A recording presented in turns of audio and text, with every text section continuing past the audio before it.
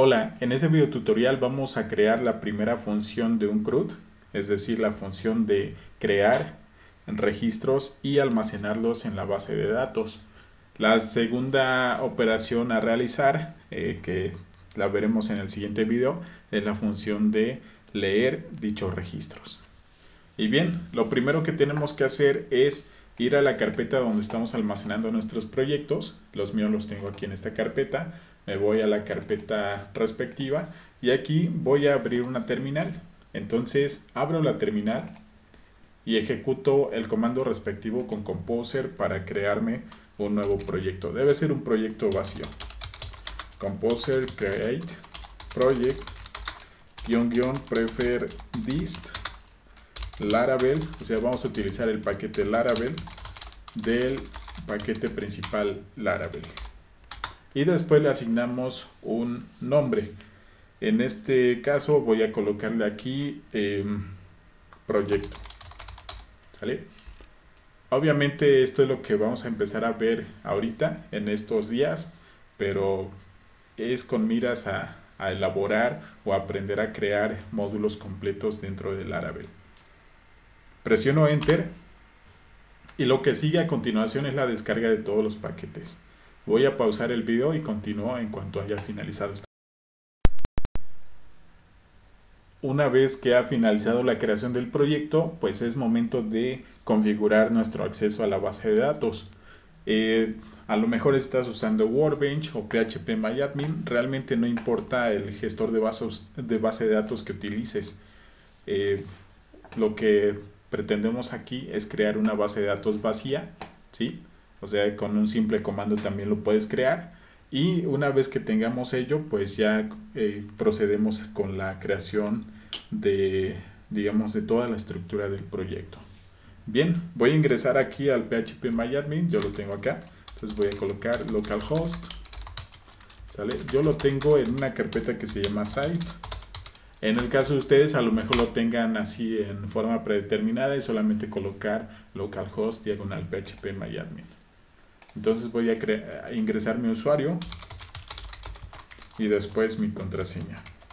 Presionamos Enter y listo, ya estoy aquí dentro de mi gestor de base de datos. Ahora una recomendación que siempre hago es que a la base de datos que estás creando le pongas el mismo nombre que tu proyecto. Entonces aquí el proyecto, si listamos esto, se llama proyecto. Eh, entonces es repetitivo, pero bueno, lo vamos a hacer así en esta ocasión mi base de datos se va a llamar proyecto, ¿sale? ¿Para qué? Para que no me confunda ahí con los diversos nombres que vaya teniendo. Y puedo crear la base de datos simplemente dando un clic aquí.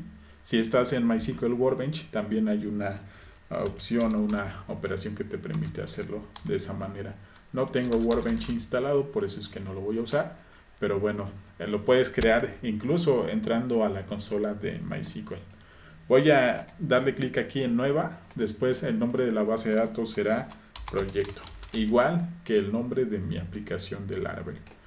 La colación eh, la voy a dejar como UTF-32 o UTF-8 o cualquiera de esos dos. Entonces elijo este, le doy en crear y listo. Ahora me pide que cree las primeras tablas, pero bueno, no las voy a crear desde aquí, las voy a crear desde las migraciones. Entonces, ahora sí, ya vamos a eh, crear nuestra primera estructura. Para ello, lo que vamos a hacer es cerrar esta terminal, ya no la vamos a utilizar, y nos vamos directo al Visual Studio Code. Este editor es el que hemos estado utilizando. Lo abrimos. Voy a abrir la carpeta respectiva del proyecto, que está aquí. ¿Sí? Y es esta, se llama proyecto. Abro la carpeta y lo que vamos a encontrar es el árbol de archivos y carpetas de esta aplicación que hemos acabado de, de crear, ¿sale? Tenemos toda esta configuración de archivos, carpetas y el primer archivo que debemos modificar es este, el archivo .env, ¿sale? Entonces aquí entre las líneas 10 y 15 es en donde nosotros vamos a modificar el acceso a la base de datos. Recuerden que eh, la base de datos que hemos creado se llama proyecto, igual que el nombre que tiene nuestro proyecto aquí, ¿sale? Entonces voy a cambiar primero el nombre de la base de datos en la línea 13, voy a colocar proyecto. Ahora voy a colocar mi usuario, mi usuario es user admin y mi contraseña respectiva.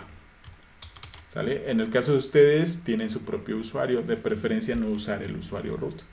Guardamos los cambios y lo que sigue es abrir una terminal dentro de Visual Studio Code. Entonces le voy a dar aquí, aquí en nueva terminal. Listo. Y lo que voy a hacer enseguida es presionar, perdón, ejecutar el siguiente comando. php artisan server. Con esto se va a lanzar la aplicación. Entonces voy a abrir el navegador, escribo localhost puerto 8000, así como lo tengo acá.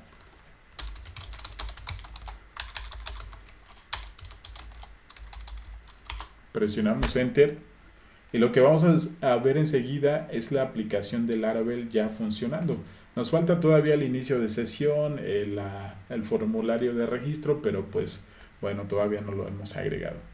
Eh, muy posiblemente para estos primeros ejercicios todavía no lo utilicemos y ya antes de finalizar, por ejemplo, cada uno de los módulos, entonces agregaremos esa parte. Aunque sería bueno que lo hiciéramos este, este momento. Bien, entonces ya prácticamente tenemos esto. ¿Qué es lo que sigue? Lo que sigue es crear eh, una nueva terminal. Aquí vean que tenemos uno, dice 1 PHP. Vamos a abrir una segunda terminal. Y dentro de este proyecto, vean que ya me redirecciona hacia, hacia la carpeta raíz del proyecto. Voy a ejecutar el siguiente comando. php artisan migrate. ¿Sale? Al ejecutar esto, me va a crear todas las tablas que ya vienen dentro de la configuración de las migraciones. Las migraciones las vamos a encontrar dentro de la carpeta base de datos, aquí, migraciones, y ya tenemos algunas. Aquí vemos tres migraciones, cada una de estas migraciones tiene su estructura respectiva, la función up, que permite crear la tabla, y la función down, que eh, su operación es borrarla en caso de utilizar alguna eh, migración de tipo rollback. Y bien, en la función add es en donde nosotros estaremos modificando cada uno de los campos eh, según la tabla a la que estemos modificando. Y bueno, eh, estas son las tres que aparecen. Si vamos al gestor de base de datos, por ejemplo aquí PHP MyAdmin, y actualizamos esta base de datos, van a ver que aparecen cuatro tablas. ¿Por qué? Porque se crea aparte una tabla llamada migraciones que contiene la información de las migraciones anteriores, o sea, como un identificador. Y lo va almacenando allí para que cuando hagamos, por ejemplo, un rollback y después un migrate nuevamente, pues no tengamos ningún inconveniente. Voy a descargar MySQL Workbench por si ustedes tienen eh, esa herramienta eh, la voy a empezar a descargar ahí en segundo plano. Y bueno, ahora, ¿qué es lo que sigue? Lo que sigue es definir algunas tablas que vamos a estar eh, creando aquí dentro de nuestro proyecto. ¿sí? Bueno, voy a descargar esto. Yo tengo la versión 20.04 de Ubuntu, entonces voy a utilizar esto. Esto lo estoy, lo estoy haciendo como secundario porque eh, yo no estoy utilizando Workbench en este momento. Si tú sí lo usas y estás creando con eso tus bases de datos, no hay problema. Voy a guardarla. Listo, ya está descargando el archivo correspondiente. Y bueno, vamos a continuar acá de este lado.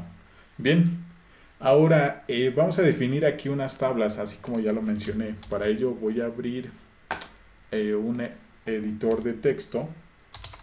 ¿sí? este Sublime Text. ¿Listo?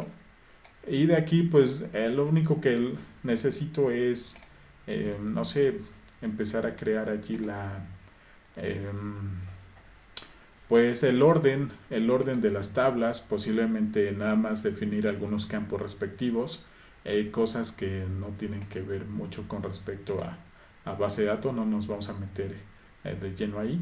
Y voy a abrir aquí una nueva ventana Parece ser que no hay. Ah, aquí está, New Window. ¿Sale?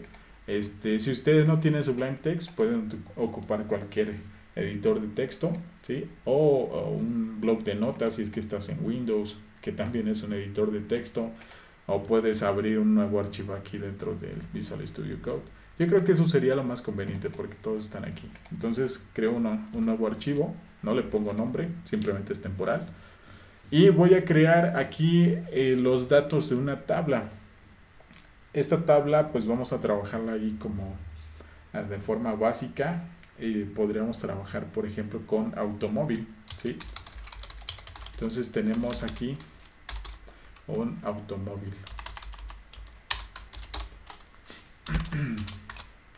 Eh, que bueno, mejor vamos a colocarlo así como carro.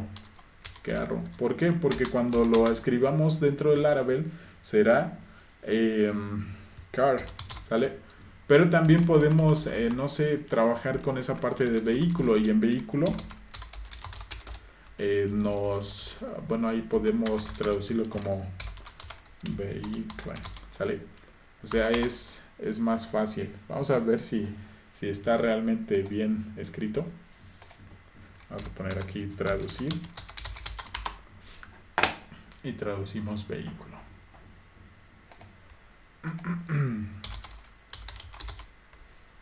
Sí, bien. Sí, es correcto. Entonces, cuando lo pase a, a plural, simplemente le va a agregar una S. Bien, ahora, ¿cuáles son los atributos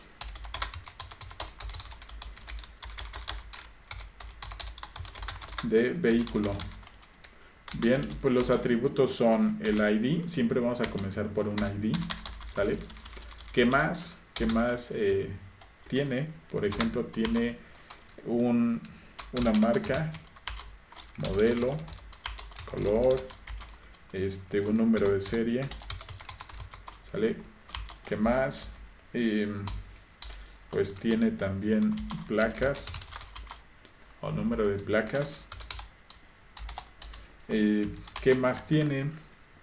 Pues podemos ver que tiene, por ejemplo, número de puertas, el número de asientos, si es que ah, el kilometraje, ¿sale? Estamos hablando también de si tiene, por ejemplo, ah, frenos de tipo ABS, pero esas ya son características Em, digamos, secundarias. También se puede trabajar allí. El cilindraje. Y bueno, tiene ahí más cosas. Vamos a poner aquí, por ejemplo, el precio, precio de venta y el costo, precio compra. ¿Sale? Por si eh, se trata de una institución que vende automóviles, pues para que puedan ver cuánto están ganando. Por ejemplo, con cada una de las ventas de automóviles. Necesitamos también una descripción. Y un... ¿Qué más podemos poner por acá? Y una... Eh, una nota, un comentario. Vamos a ponerlo como comentario. Y eh, por último ponemos un campo que se llama disponible. ¿Qué más podemos agregar? Pues la parte del dueño, pero eso ya sería otra tabla. Entonces aquí tenemos una serie de campos. Hasta el momento son estos. Bien, estos campos los vamos a agregar dentro de nuestra migración, que todavía no hacemos en este momento. Apenas ejecutamos el comando php artisan migrate. ¿Qué es lo que vamos a hacer? Pues dentro de esta terminal, la segunda, porque en la primera se está ejecutando el proyecto. Entonces en esta vamos a ejecutar el comando php artisan make dos puntos model y especificamos el nombre del modelo que en este caso es vehículo así en singular clic derecho pegar si quiere lo puedes escribir Debe ser en singular con la primera mayúscula. Y después le agregamos una A, guion A. ¿Para qué? Para que nos cree toda la estructura de un módulo completo que también lo podemos conocer o, llamar como scaffold. Bien, ahora pues ya está ahí creando tres archivos, el modelo, una factoría, la migración, después el seeder y luego el controlador. Bien, esto incluso puede ser repetitivo para ustedes. Ok, una vez que se ha creado eso, recuerden que el siguiente paso es ir a modificar nuestra migración. ¿Sale? Es esta, la última. Vamos a abrirla. Y bueno, aquí lo que voy a hacer es dividir la pantalla en dos eh, columnas. Para ello voy a darle clic derecho aquí donde dice eh, View y después en Editor Layout o, Editor de plantilla y le doy clic en dos columnas. ¿Sale? Listo. Voy a arrastrar el archivo que tengo aquí donde están los campos. Bueno, se ha creado otra, la voy a cerrar. Listo. Ahora lo que voy a hacer es agregar cada uno de esos campos desde marca hasta disponible aquí. El ID no porque ya me lo crea de forma automática, ¿sale? Y si eh, creamos la migración de esto, bueno, la ejecutamos, van a ver que ya va a aparecer la tabla vehículos con tres campos, ¿sale? Voy a ejecutar la migración. PHP Artisan Migrate. Presionamos Enter y ya nos ha creado la tabla respectiva. Nos vamos aquí al gestor de base de datos y cuando actualizamos eh, la base de datos que es eh, proyecto, ustedes van a verificar que ya se ha creado la tabla vehículos. Si le damos clic en examinar, verán que tiene, eh, pues en este momento no tiene ningún dato. Eso es lo interesante, no tiene ningún dato. Y los campos que se han creado son ID, creado en y actualizado en. ¿sale? Que esto ya se agregan automáticamente, ya lo hemos comentado anteriormente. Bien, entonces el, el siguiente campo que vamos a agregar es este. ¿Sale? Y entonces esto los vamos a escribir en inglés. Esto sería como brand. ¿Sale? Después tenemos el modelo. Después el color. Este pasa igual. Después el número de serie.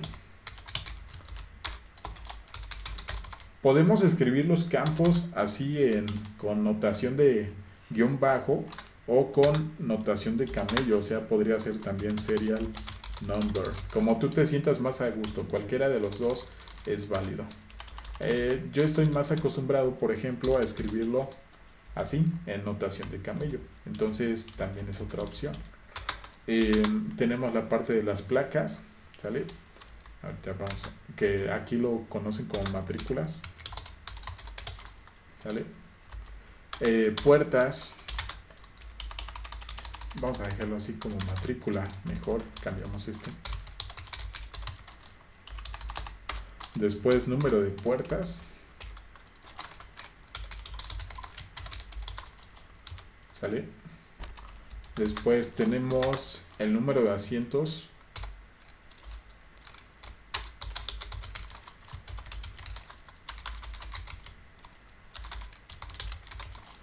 ¿Sale? ¿Qué más necesitamos? Em, eh, kilometraje. Vamos a poner aquí su traducción. ¿Cómo se traduciría kilometraje? Ah, ah, ah. Estamos en la de traducir. Y bueno, avanzamos con el siguiente. El otro es cilindraje, el precio de venta, el precio de compra, la descripción, el comentario y si es que está disponible. Pues comenzamos. Bien, el primer campo es el ID, ese ya está. Entonces vamos con el siguiente que es la marca. La marca la vamos a definir con un campo de tipo, con un método de tipo string que lo convierte a un campo de tipo varchar en base de datos. Entonces aquí colocamos brand y le colocamos también una extensión, unos 100 caracteres. Después vamos con el siguiente campo que es el modelo. El modelo también, vamos a colocar aquí model Vamos a poner unos 50 caracteres. Después vamos con el color. Table color. ¿Sale? Y para el color, perdón, el color va adentro. Ese sería un string. Ponemos aquí color. Y ponemos unos 50 caracteres también. Vamos con el siguiente table. string serial number. El serial number pues es un dato ahí que es algo extenso y pues este debemos em, tenerlo contemplado. Vamos a poner aquí unos 30 caracteres, 50 eh, más o menos. Y listo. Voy a pausar el video, termino de escribir toda la estructura y continuamos. Bien, en este momento ya he finalizado la definición de los campos de esta tabla, de la tabla vehículos, y he quitado algunos, por ejemplo el precio de venta y precio de compra. ¿Por qué? Porque eh, vamos a crear una tabla respectiva acerca del precio de venta y, precio de compra, ¿sí? Y todavía algunas otras tablas que tienen que ver, por ejemplo, con el detalle de venta, eh, las categorías, ¿sí? Todo ello. Entonces, pues hasta este momento solo estos datos que tenemos aquí. Vamos a guardarlos con control S. Igual si no ven la, la posibilidad allí lo pueden guardar en otro lado. Voy a guardar este archivo. Lo voy a guardar en el escritorio. Le pongo .txt. ¿Sale? Este no es parte del proyecto, pero sí nos sirve para ir teniendo una descripción de los atributos. Bien, una vez que hemos definido todo esto, entonces lo que sigue es ejecutar otra vez el comando de la migración. Pero si ustedes verifican, nos dice que no hay nada para migrar. Cuando suceda esto, no se alarmen. Realmente lo único que hay que hacer es ejecutar un refresh. ¿Sale? Ahí dentro de la, de la documentación del Laravel, justo en las migraciones que vienen por aquí abajo, eh, ahí les habla acerca de... Eh, pues de cómo usar el comando migrate, ¿sale? Si es que ustedes ya tienen eh, unas migraciones, lo que pueden hacer es utilizar el comando refresh, que lo que hace, pues hace un rollback, o sea, destruye las tablas y después las vuelve a crear, ¿sale? Con el comando migrate. Entonces, es el comando que voy a utilizar, php artisan migrate. Dos puntos, refresh, ¿sale? Presionamos Enter y si todo ha sido correcto, lo que va a suceder es que ya se ha creado la nueva tabla. Si vamos aquí al gestor de base de datos, que en mi caso tengo phpMyAdmin por el momento, y nos vamos a la parte de la estructura aquí justo en la tabla vehículos. Vean que aquí no se ve nada, pero si le damos en estructura ya debe cargar todos. ¿Sale? Tenemos 15 campos aproximadamente en esta. y hay algunos, por ejemplo, este es de tipo eh, tiny, o sea que no recibe datos muy elevados. ¿Por qué? Porque simplemente nos va a decir si un auto está disponible o no está disponible. Hay algunos campos que reciben tipos de datos eh, nulos y la mayoría son no nulos. El ID es autoincrementable. Esa es una de las ventajas que nos proporciona Laravel, que a través de la eh, pues de, de la creación eh, desde el código fuente, pues podemos verlo ya reflejado en las tablas. ¿Sale? Bien. Ahora, ¿qué es lo que vamos a hacer? Pues eh, quiero mostrarles cómo se ve aquí en el Workbench, que realmente es lo mismo, ¿sí? Para ello voy a, pues voy a este, instalar esa aplicación. Que yo la tengo en el escritorio. ¿Sale? Y se llama MySQL Workbench. Ya en otros momentos lo hemos instalado, realmente esto ya repetitivo, yo lo instalo porque no lo tengo en este momento. Y bien, cuando le salga un error de tipo de PKG, así como aquí, ¿sale? ¿Qué es lo que hay que hacer? Pues simplemente hay que ejecutar el comando sudo apt install f-y. Me faltó aquí una i. Presionamos enter y lo que hace es descargar esas dependencias, ¿sale? Las descarga y lo que sigue es que configura ya de nuevo la, la aplicación para que funcione correctamente. En este momento ya funcionó.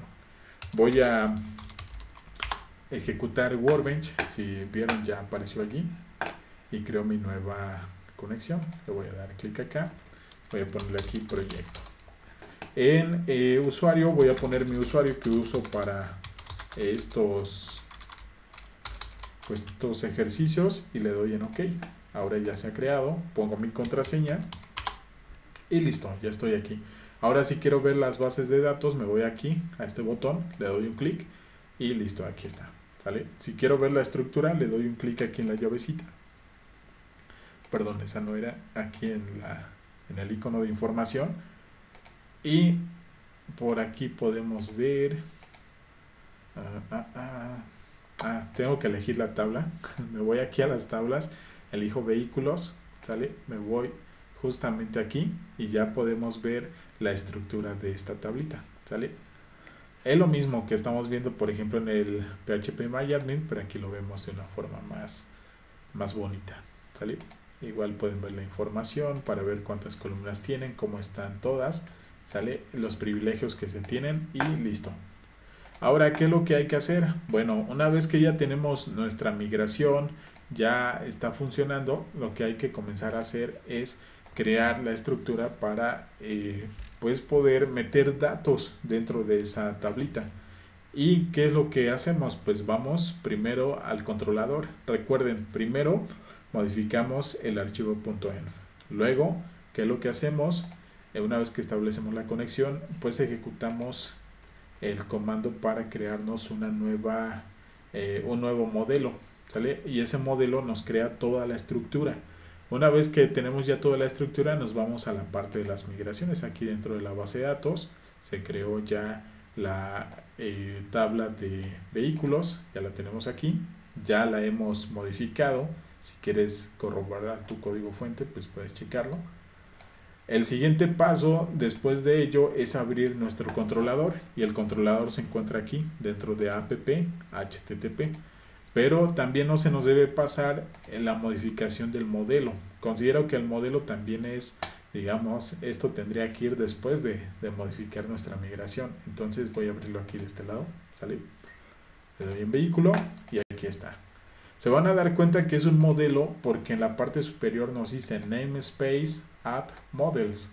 Entonces, eh, si ya tenemos aquí la estructura esta del namespace o espacio de nombres que está redireccionando a models, pues eh, ya es claro que estamos allí. Estamos trabajando con un modelo y si no nos queda claro, por aquí nos dice que este, esta clase de vehículo está extendiendo de la clase models. y cuando hablamos de extensión, estamos diciendo que está heredando propiedades de la clase que se indica. Ahora, aquí vamos a crear una estructura que realmente es para definir cuáles son los campos que sí pueden ser eh, llenados con datos, ¿sale? Y lo ponemos así de esta manera. En un arreglo y vamos a colocar primero la marca. Lo ponemos así, sin comillas, después vamos a arreglarlo. Vamos con el modelo, simplemente hay que copiar y pegar, ¿sale? Este, ¿Qué es lo que voy a hacer? Pues voy a pausar el video, termino de pasar todos para eh, ahorrar un poco. Listo, en este momento ya he agregado aquí cada uno de los campos. Pero bueno, ¿qué es lo que voy a hacer? Voy a cerrar esto, voy a cerrar este, voy a guardar los cambios para que se apliquen y bueno, me voy otra vez a abrir el modelo para que justamente aparezca aquí. Presiono la tecla Alt con la tecla Z para que haga esto, o sea, la siguiente línea se desborde a la, a la de abajo. Y lo que voy a hacer es eh, que voy a dar doble clic en cada uno de estos campos y voy a presionar la tecla que tiene las comillas simples, o sea, la que está delante del cero. Entonces, doble clic, presiono la tecla y así voy con cada una para agregar las comillas simples correspondientes. Si no lo hacemos, nos va a marcar un error allí y pues bueno, tenemos que hacerlo de cualquier manera. Listo. Una vez que ya ha quedado eso, entonces sí, ya nos vamos al controlador. El controlador lo van a encontrar aquí dentro de la carpeta app http controllers y dentro de controllers ya está vehículo controller. Lo abrimos y nos vamos a la función index. ¿Sale? Ahora en la función index vamos a hacer lo siguiente, vamos a retornar datos. Entonces lo que haremos aquí es esto. Eh, creamos una eh, nueva variable que se llame vehículos, así en plural, a la que vamos a tener que retornar todos los vehículos que, encontremos dentro de la base de datos. Entonces, eh, vamos a hacer lo siguiente. Eh, invocamos al modelo vehículos y vamos a utilizar una función, perdón, un método que se llama todos. ¿Sale? Bien, una vez que creamos nuestra eh, variable que va a almacenar las, pues toda la información que tengamos ya dentro de la tabla de vehículos, lo que vamos a hacer es retornarla dentro de nuestra vista. Entonces aquí vamos a ejecutar una instrucción que se llama return view y en view le vamos a pasar el primer parámetro. El primer parámetro es nuestra ruta. Estamos hablando de vehículos, entonces vamos a crear una carpeta que se llama así, vehículos, y después un archivo llamado index. Y de forma adicional le pasamos la variable que acabamos de crear, que se llama vehículos. Ahora, esta, esta eh, vista no la hemos creado aún. ¿Qué es lo que vamos a hacer? Pues vamos a crear primero la carpeta y dentro de esa carpeta el archivo correspondiente. Esa carpeta debe ir aquí dentro de la, válgase la redundancia, la carpeta eh, resource, resource, views y aquí vamos a crear la new folder, vehículos. Presionamos enter y ahora una vez que ya tenemos la carpeta damos clic eh, derecho, new file y creamos el archivo index.blade.php. ¿Sale? Listo. ¿Qué es lo que sigue en este momento? Pues aquí vamos a crearnos una estructura, un for else. Ese for else lo podemos copiar de hecho de, aquí de la página oficial del Laravel. Eh, justo en la migración nos vamos en la parte superior y ponemos for else. ¿Sale? For else. Y bien, eh, lo que vamos a ver enseguida es la pues la, este, la información acerca de ese ciclo, ¿sale? Permítanme, tengo unos detalles aquí de conexión. Pero bueno, la forma en, la cual lo podemos hacer es la siguiente. Nos vamos aquí al código fuente y vamos a hacer lo siguiente, arroba for else. Ahí está, de hecho, for else. ¿sí? Esa es la, de hecho, la estructura. Eh, en colección vamos a cambiar aquí por la variable que estamos trayendo desde el controlador. En el controlador tenemos una variable llamada vehículos aquí en la función index. Entonces es esta variable la que estamos pasando. Copiamos, pasamos al index.blade y aquí vamos a reemplazar. Queda como vehículos y esa variable vehículos o arreglo va a ser recorrida por un elemento. Ese elemento viene aquí por defecto como item. Nosotros lo vamos a cambiar a vehículo en singular. Recuerden, vehículo va a recorrer vehículos. O sea, cada uno de los elementos que se encuentre dentro de vehículos es un vehículo. Y luego entonces vamos a generar aquí una estructura que nos permita visualizar la información. Vamos a poner, por ejemplo, un H, H3, ¿sale? Nada más por esta primera ocasión. Y aquí un LI. Un LI es para una lista. Entonces ponemos este H3 dentro. Ah, vamos a colocarlo por aquí. Esto es HTML. Lo agregamos. Y dentro ponemos, por ejemplo, eh, la descripción de dos campos. Puede ser eh, la marca, modelo y posiblemente este, el serial number y la descripción. O sea, no es necesario que coloquemos todos hasta este momento. Entonces ponemos por aquí, así, marca. Y para poner la marca, entonces recorremos el vehículo, vehículo. Y después con, con este signo de asignación, si así lo queremos llamar, eh, vamos a retornar la marca. ¿Sale? Después, si queremos poner el modelo, pues otra vez, vehículo,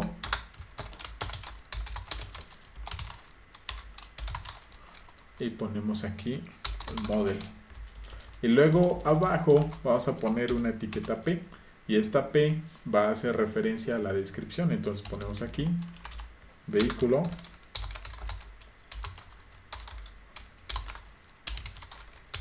descripción. Sale bien. Listo. Guardamos los cambios. Voy a agregar un BR no, así que se quede. Bueno, igual podría ser que agregue un BR al final para que vaya separando. Y luego aquí dentro de la sección de empty, o sea, ¿qué pasa si el, eh, la base de datos está vacía? Pues que me aparezca un mensaje, un H1, en donde diga, em, la tabla no tiene datos. ¿Sale? O no hay datos en la base de datos o la tabla correspondiente. Bien, en este momento pues parece que ya lo tenemos. Vamos a guardar los cambios también acá. Y ahora lo único que falta es dar de alta nuestra ruta. Recuerden, una vez que modificamos el, el, controlador en la función index o en cualquiera de las funciones, pues vamos a dar de alta la ruta. Como es un controlador de tipo resource, pues no hay tanto problema. Lo único que vamos a hacer es darla de alta una vez para cada una de las funciones. Entonces, eh, nos vamos a la carpeta routes web.php y aquí la vamos a dar de alta. Route cuatro puntos resources. ¿Sale? abrimos y cerramos paréntesis y aquí vamos a abrir y cerrar corchetes. ¿Y por qué pusimos resources? Porque vamos a crear más estructuras, o sea, esta es eh, una de cinco o seis tablas que vamos a estar creando. Entonces aquí dentro vamos a crear la de vehículos, vehículos. Listo, y le vamos a asignar el controlador. Ahora tenemos que dar al controlador aquí en la parte superior. Use y vamos a hacerlo de la siguiente manera. Use app http controllers y luego el nombre del controlador. app en mayúscula. Luego http. Que sigue? Sigue controllers. ¿Sale? Así en plural, así como está el nombre de la carpeta. Y luego vehicle controller. Listo. Guardamos los cambios y ahora vamos a, vincularlo acá. Vehicle controller 4 puntos class. Y agregamos una coma al final porque posiblemente agreguemos más eh, controladores. Ahora, ¿qué es lo que vamos a hacer? Pues eh, si verifican, nuestra aplicación sigue corriendo. Ahora sí vamos aquí y vamos a localhost 8080 y ponemos vehículos, lo que va a suceder es que pues en este momento no está corriendo. Voy a verificar que, pasó, por ejemplo, aquí en mi código fuente. Eh, está correcto. Ah, ah, ok, vamos a cancelarlo y lo volvemos a lanzar. y listo. Entonces eh, vamos de nuevo. Ah, es que estoy corriendo por el 8080 y aquí es el 8000. Nos debe decir que no hay, este, no hay datos. Y entonces aquí viene lo interesante, cuando empecemos a guardar datos, ya nos tiene que marcar el primero. Entonces voy a agregar un registro aquí en esta tabla dentro del Workbench. Tú puedes utilizar el que tú quieras, realmente no hay ningún problema allí. Le doy aquí en vehículos y aquí tiene un botoncito con una tablita con un rayito. Entonces le doy ahí el ID es autoincrementable, entonces me voy con eh, la, marca, modelo, todo lo demás. Y bueno, también hay un formulario, ese sería el más adecuado para que no nos perdamos allí. Y ese lo activas aquí de este lado, pone la marca, marca este Volkswagen. Sale este modelo, eh, no sé, un este... pues podríamos poner aquí un golf, por ejemplo. Color azul. El número de serie, poner un número de serie aquí. Recuerden que este sí tiene un límite. Después eh, las placas.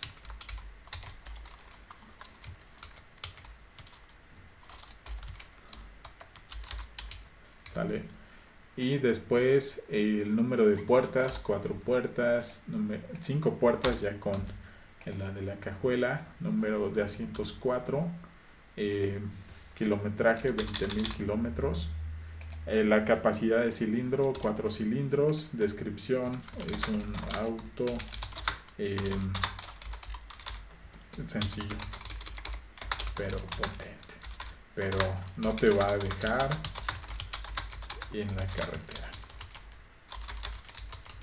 ¿Sale? El comentario eh, voy a poner aquí ninguno, disponible sí, de hecho este ya se pone así como por defecto en uno, y los últimos los podemos dejar así, se agregan automáticamente. Le doy en aplicar, luego en aplicar otra vez, cerrar, Y lo que va a suceder en este momento aquí en nuestro navegador es que cuando actualicemos ya debe aparecer el primer registro. Bien, con eso ya sabemos que está guardando dentro de nuestra base de datos. Bien, hasta aquí dejamos este tutorial. ¿Sale?